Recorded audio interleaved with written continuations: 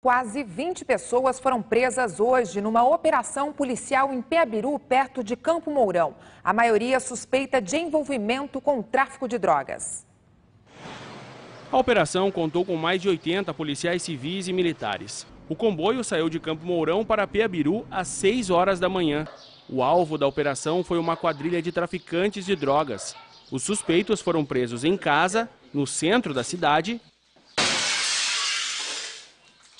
e também na área rural de Piabiru. 17 pessoas foram presas e duas adolescentes apreendidas. Com a quadrilha foram encontradas armas, drogas e dois veículos. A polícia monitorava as ligações telefônicas da quadrilha há mais de dois meses. De acordo com o delegado, a estimativa é de que o principal suspeito da operação movimentasse mais de 8 mil reais por mês em drogas no município. Combatendo o tráfico de drogas, nós combatemos outros crimes. Apreendemos inclusive os objetos furtados com alguns dos alvos que vão ser autuados por receptação.